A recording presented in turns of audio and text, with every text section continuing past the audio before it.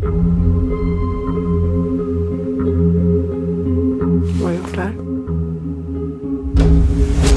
Veronica är aldrig närvarande. Det är som om den bara flyter iväg liksom.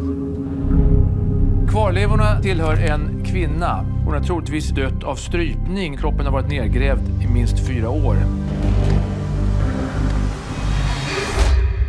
Vad är din teori?